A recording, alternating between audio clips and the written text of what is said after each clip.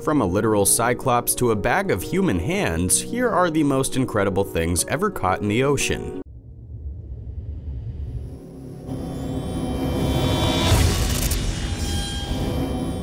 Albino Cyclops Shark in a world of photoshopped monsters, it's hard to believe that the albino cyclops shark really exists. However, experts claim it is absolutely real.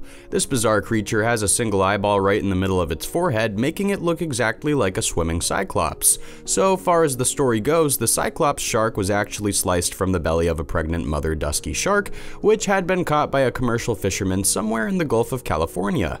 According to a report from Fox News, shark researchers examined the creature and found that yes, its singular eye was indeed made of perfectly functional optical tissue. However, they had serious doubts about the mutated creature surviving outside of the womb. The experts say there are less than 50 examples of such an abnormality ever recorded. The actual name for the condition is called cyclopia, and it's a developmental anomaly in which only one eye develops rather than two. There are even human fetuses that are sometimes affected with this condition. In the case of a 1982 Cyclops baby in Israel, the girl was born seven weeks early with no nose and a single eye right in the middle of her face. It's reported that the infant only lived for 30 minutes after being born. Cyclopia is a rare but almost always fatal condition. It's a truly devastating genetic mutation. If you ever encounter an animal with one single eye, you absolutely have to document it. But this is not about animals or people that lose an eye in an accident or due to violence. Have you ever heard of cyclopia? What do you think about it? Do you think it is possible that someday scientists will be able to help save babies born with this tragic condition? Let me know your opinion in the comments below, and while you're doing that, don't forget to subscribe if you have not already. There are lots of more videos coming up, and also let us know what videos you'd like to see. The Blue Mahi Mahi the blue mahi-mahi is a catch that only comes around once in a blue moon. This fish is nothing short of extraordinary. In Mexico, mahi-mahi are known as dorado, which translates to the golden one. These fish are extremely prized by professional anglers because of their quality flesh and spectacular golden colors. While thrashing on the end of the fishing line, a dorado will often sizzle in a variety of colors from a green yellow to a vibrant gold. However, there is a special kind of fish even rarer than the golden dorado, and that's the blue dorado or blue mahi-mahi. A fisherman fishing off the coast of Baja California captured 154 Dorado in just four days on a special excursion, and while most of them were the proper gold color, a few of these giant fish turned up completely blue. This is one of the rarest types of fish you can catch in the area. However, it might not actually be rare at all. Some experts claim that the Dorado is able to change its flesh to be a different color. This means that they are sometimes caught looking silver, gold, or sky blue. After the mahi-mahi is dead and put inside the fish box, they typically turn the darker green or gold color. Animals that change colors are some of my favorites. It would be amazing to have that power, but instead we'll have to settle for our big human brains and no chameleon skin.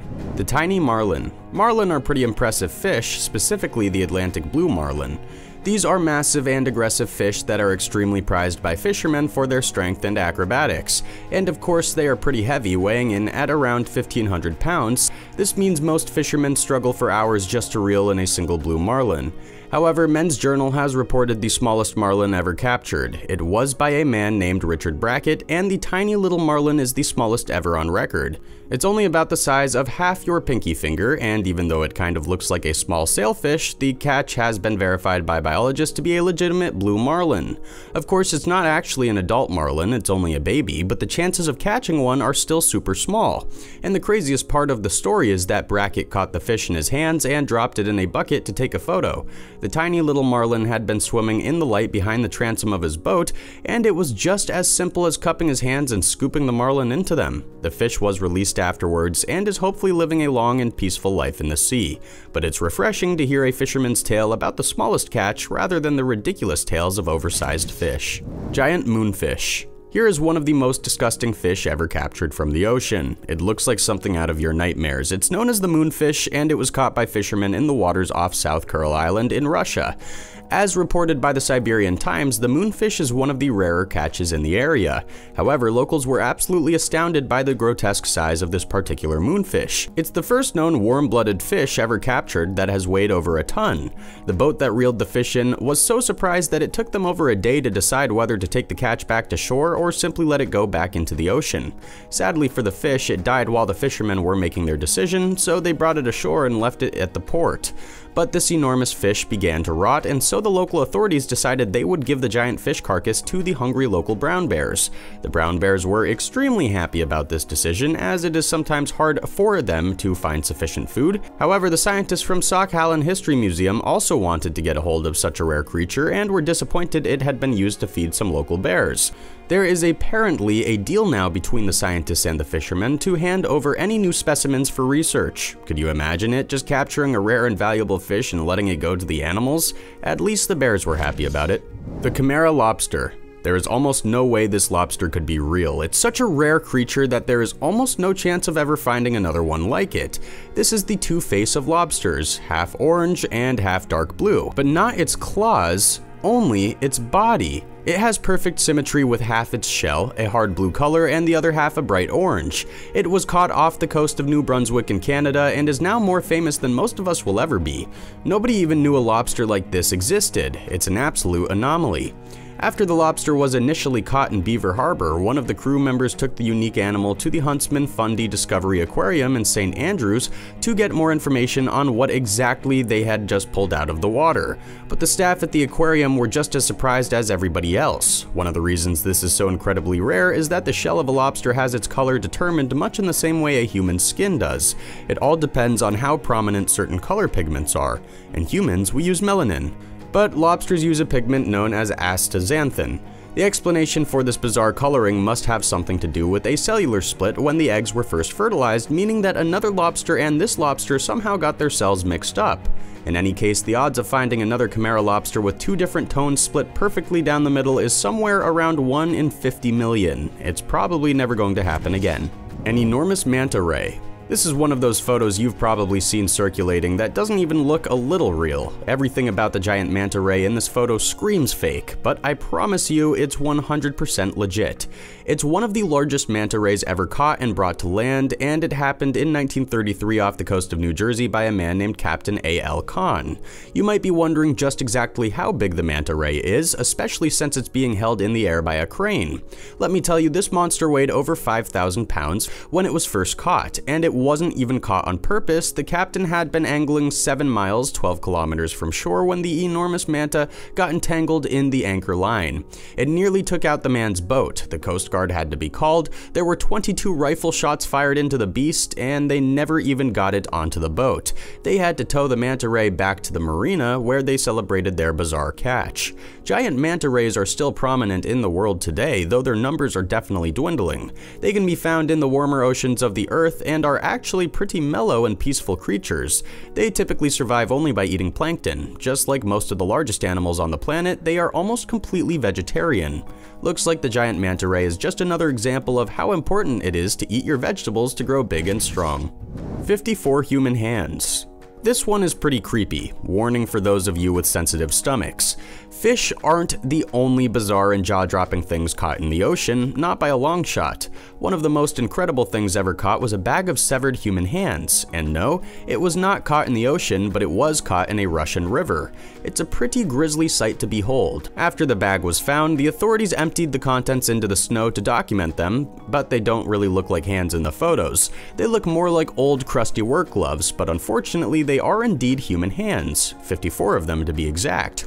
This happened in the city of Khabarovsk, far in the east of Siberia, but before you start blaming a serial murderer for all these hands, it's a little more complicated than that. You see, local authorities claim that the hands were taken from unidentified bodies and stored at a nearby forensic laboratory. The hands were supposedly taken to preserve their fingerprints in case they needed them for proof in a later investigation. But how did the bag of hands end up in the river? Well, it looks like it was dumped on a small island in the middle of the river. It's no wonder people were extremely suspicious, you would think there are rules and regulations about dumping large garbage bags full of human hands in a river, but maybe not. It is Russia after all. Things get a little bit weird out in the Siberian Far East. Two-headed turtle. Turtles are awfully cute all on their own, but what about the mutant two-headed turtle that was found on Hilton Head Island in South Carolina? Yes, it's as adorable as you would expect. The manager of the Sea Turtle Patrol Hilton Head Island said it's a rare condition but nothing to be concerned about. This is after people began to spout nonsense online talking about radiation in the water or some other pollutants. But that's not the case. The two-headed turtle, which was first discovered in 2019, is just something that happens sometimes in nature. There are not many examples of a creature being born with two heads, but it does sometimes happen. It happens with humans too. The mutant was found after all the other turtle eggs hatched. The poor little two-headed freak was stuck inside of its egg and would not have been able to get out on its own. Luckily, volunteers on the site got it out and into the water, but it wasn't going to survive. It appeared that each flipper was controlled by a different head and so it couldn't swim very well. A small bump in the middle of the turtle shell suggested that each head had its own spine. This would mean that all the systems were going to be separately controlled by the different heads. It had absolutely no chance for survival in the wild. Fortunately for this cute little creature, it has a chance at survival if humans decide to care for it and give it a chance at a life it would never have had in nature.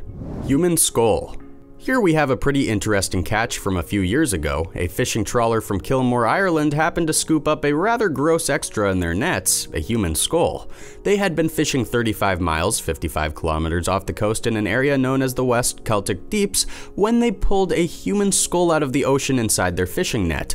Obviously alarmed, the fishermen took the human skull to the first place they thought, the local regional hospital. It was then examined by a pathologist, in which the preliminary examinations indicated that the skull had likely been at sea for between one and two years. However, the real mystery is the location where the skull was found. It was recovered extremely close to the wreckage of a boat that went down during World War II. The thing that would make the most sense is that the skull belonged to a dead soldier from the shipwreck, but if the skull had only been underwater for one or two years, how could that be possible? Whose skull is this? The whole thing is mysterious and a little bit terrifying. It's the definition of a cold case. What's the truth? We may never know. A murder mystery. No one would believe it, but this true story is the only time in recorded history that a tiger shark solved a murder mystery. The year was 1935. The owner of the Coogee Aquarium and swimming baths had been struggling with business when his son caught a 10-foot tiger shark a few miles off the shore in the ocean. Trying to be clever, the owner of the aquarium decided to transport the shark into the bath and then charge people to look at the incredible creature. It was a very smart business scheme. The plan worked well until one day the shark regurgitated a full human arm arm. The owner of the aquarium called the police. The police came and fished the arm out of the water, and after a bit of investigating, the police figured out that the arm had been cut and not bitten. Thanks to a tattoo on the arm, the authorities were able to identify the rest of the man. It turned out he was missing and believed to be murdered. With a bit of good police work, the cops were eventually able to arrest a man in connection to the murder, and it was all thanks to the tiger shark. I've heard of bloodhounds finding missing people, but never a tiger shark. How unbelievable is that? What do you think of these incredible catches? Let me know in the comments, and thanks for watching. If you haven't already, don't forget to subscribe. See you again soon for another awesome video.